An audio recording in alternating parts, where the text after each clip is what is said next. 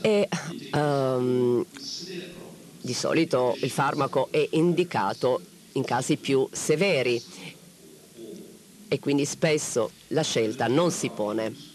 E l'argomentazione primaria è che se si aumenta l'erogazione, alla fine c'è tutto da guadagnare. Questa è una cosa che dovete continuare a ripetere, una sorta di ritornello. Oh, c'è un dato economico. È in sterline il dato.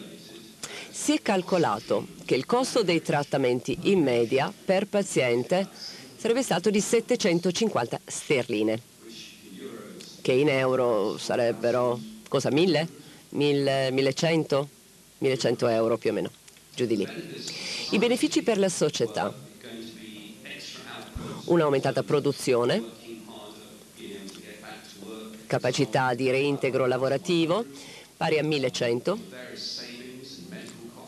risparmi tagli dei costi medici, eh, si vede meno il medico di famiglia, meno ricorso ai farmaci e un incremento degli anni di vita ponderati per qualità, siamo a 3003. Quindi questi sono i benefici per la società. I benefici per il contribuente, per l'erario,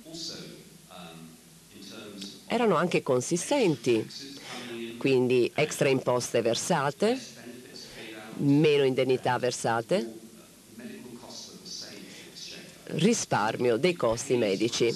Quindi il tutto funziona e porta a casa dei risultati, dei guadagni.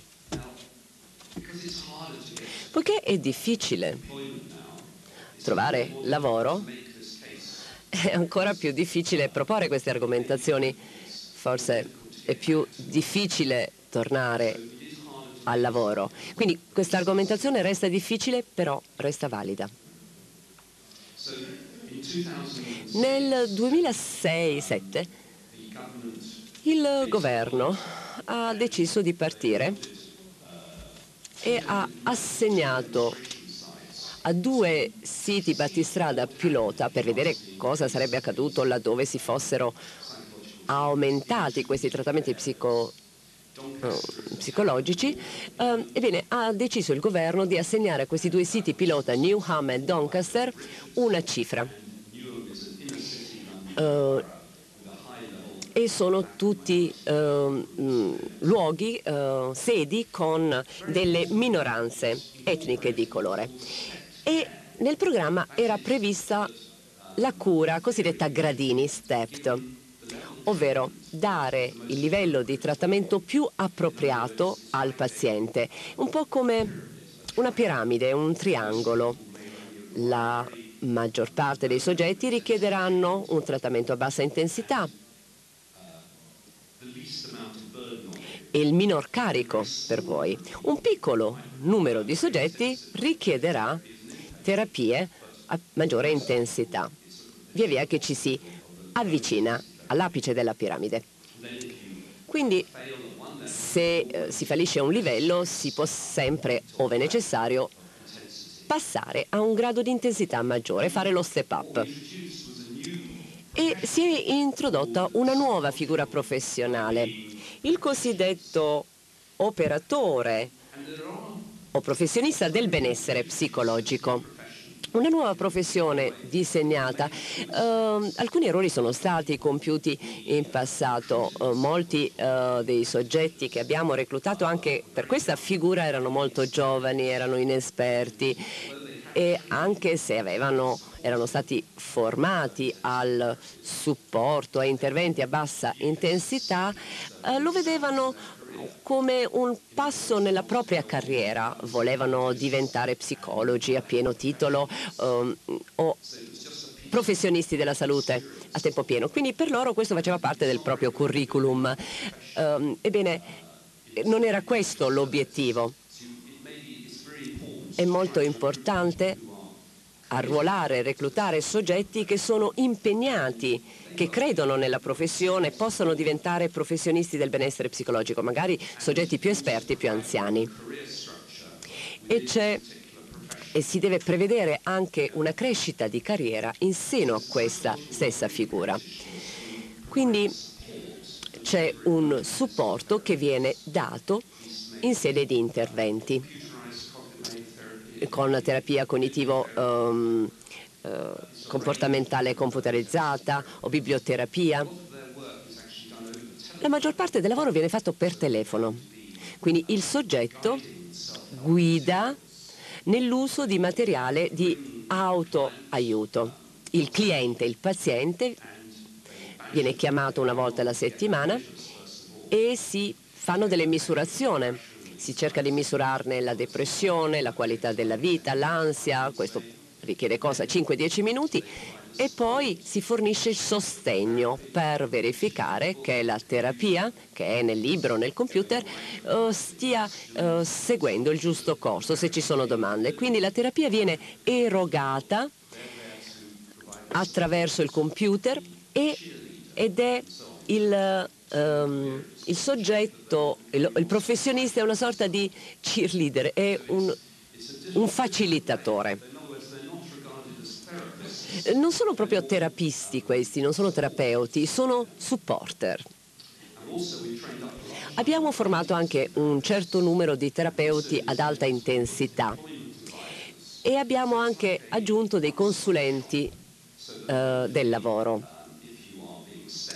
Uh, quindi uh, prima vedi il terapista a livello locale, poi passi a, al consulente del lavoro che magari ti può aiutare a essere reintegrato nel posto di lavoro o a risolvere conflitti col datore di lavoro. Quindi si cerca di fare più cose contestualmente. Sottolineo l'importanza di un monitoraggio degli esiti seduta dopo seduta. Uh, se fai un monitoraggio prima e dopo, puoi tener conto dell'andamento. Per giustificare al governo devi avere dati alla mano devi dimostrare il miglioramento acquisito qualità della vita guadagnata, eh, reintegro lavorativo, queste cose devi poterle provare dati alla mano. Altra cosa sperimentata presso questi due siti, l'autoinvio tradizionalmente in Inghilterra eh, devi essere eh, inviato dal medico di famiglia allo specialista, allo psicoterapista. E molti soggetti non amano passare attraverso questo percorso, vorrebbero direttamente accedere a queste uh, terapie, soprattutto per le minoranze etniche di colore questo è importante. C'è un stigma legato al fatto di essere affetto da un disturbo mentale, quindi la via diretta uh, al terapista è quella preferenziale per loro sono state delle resistenze, alcuni ritenevano che si sarebbero attratti molti soggetti preoccupati, eh, soggetti che in realtà non avevano bisogno di questi servizi. Eppure eh, abbiamo voluto sperimentare chi avrebbe eh, potuto godere di questo autoinvio. Innanzitutto si sono raccolti i dati in questi servizi pilota Doncaster il 99% dei pazienti ha fornito dati esaustivi. È un dato straordinario questo, avere il 99% dei dati completi eccezionale.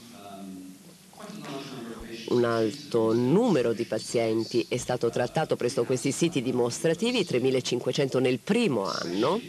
Soprattutto a Doncaster hanno usato molti questa terapia cosiddetta bassa intensità. Uh, a Doncaster hanno molti soggetti depressi e ci si preoccupava che si sarebbero persi molti soggetti invece affetti d'ansia. In questi siti dimostrativi abbiamo visto che l'esito era in linea uh, con quanto si trova nei uh, trial randomizzati e nelle linee guida del NICE. Uh, quindi il target era ottenere un recupero nel 52% dei soggetti. Si è dimostrato anche un beneficio in termini occupazionali e si è dimostrato anche un persistere del guadagno acquisito nel tempo.